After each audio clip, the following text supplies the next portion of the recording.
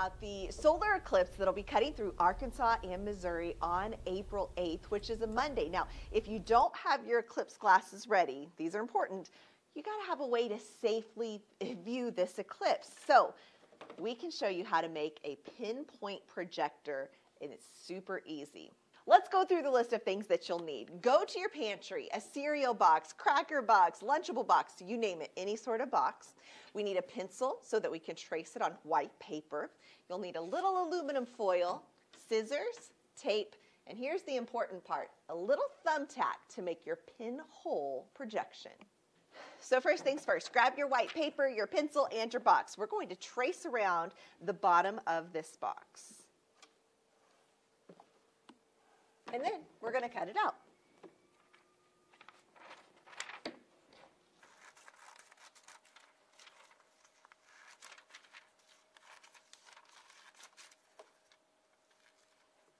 Now once your white sheet of paper is cut out, you're simply going to place it in the bottom of the box. It's kind of like a movie screen down there.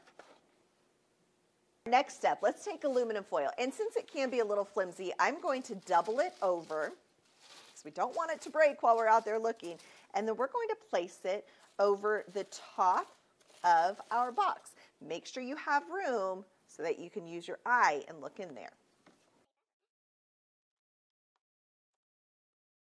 Next, grab your thumbtack. This is an important step. And close to the edge, I want you to poke just one little hole through. That's your pinhole projection.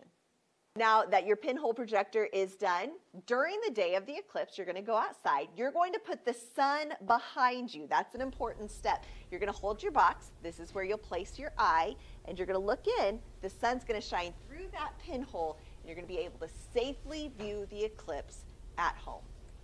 We are so very excited about that. And cloud coverage for Monday. The eclipse will be Monday near 2 p.m. I think we reached totality in West Plains at about 154.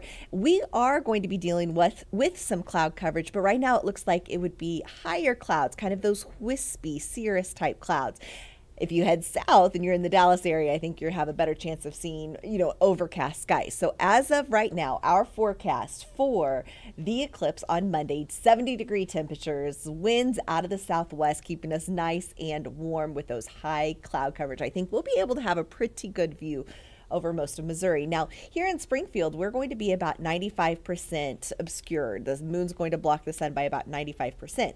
There's a big difference in 95% and totality. For more on that, you need to go to our website, ozarksfirst.com. Well, we will have a look at all of your stories for tonight's news. Make sure you check out KOLR 10 at 5, 6, and 10, and Fox 49 at 6:30 and 9. Have a great day, everyone.